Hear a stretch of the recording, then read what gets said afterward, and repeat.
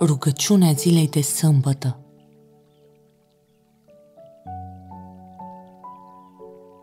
Doamne Iisuse Hristoase, judecătorul meu și veșnice Dumnezeule, cunosc cu adevărat că păcatele mele nu poate condeiul să le scrie, nici limba să le povestească, nici mintea să le priceapă, pentru că sunt fără de număr și covârșesc stelele cerului și nisipul mării.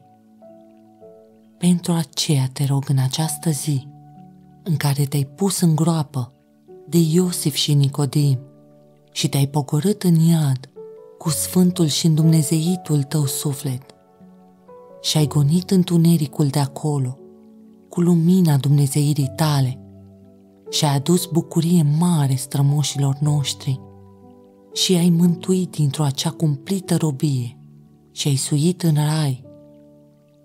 Îngroapă și păcatele mele și gândurile mele cele rele și cugetele cele viclene în groapa uitării, pentru ca să piară din mintea mea.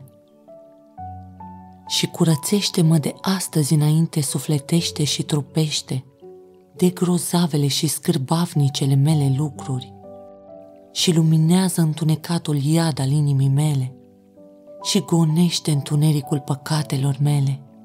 Suie mintea mea la cer, pentru ca să mă bucur de fața ta și de slava ta.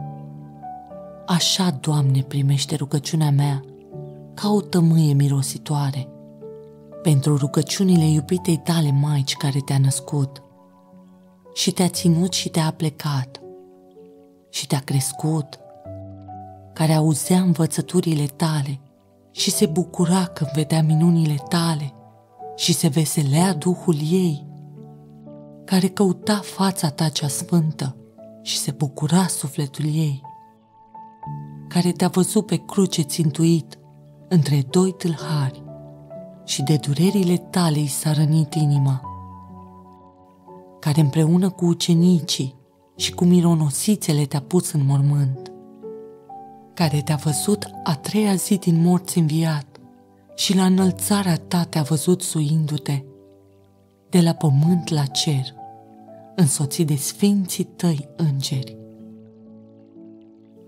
Încă, Doamne, și pentru dragostea sfinților tăi ce te roagă toți pentru toată lumea, fă milă cu cei vii și cu cei morți, către care zic și eu, nevrednicul, o fericiților oamenii ai lui Dumnezeu. Nu conteniți a vă ruga lui ziua și noaptea pentru noi, ticăloșii și păcătoșii.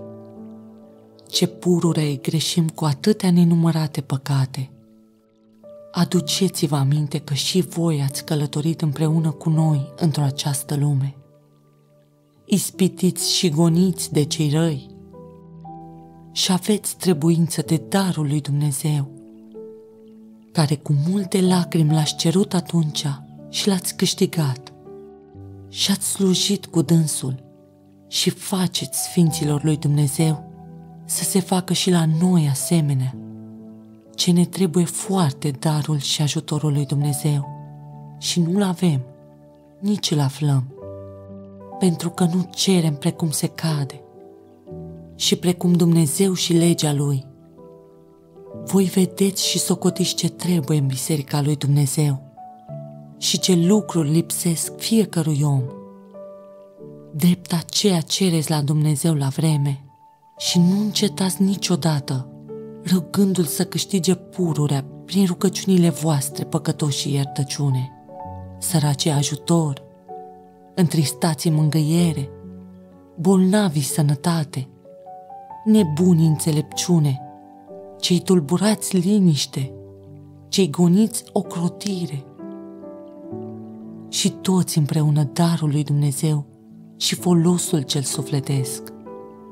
În slava lui Dumnezeu celui ce întroiță se laudă, căruia se cuvine cinstea și închinăciunea în veci.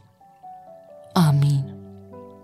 Îți sugerez să nu te oprești aici, să asculți mai departe și îți doresc ca fiecare rugăciune pe care tu o faci să-ți sporească credința în Dumnezeu.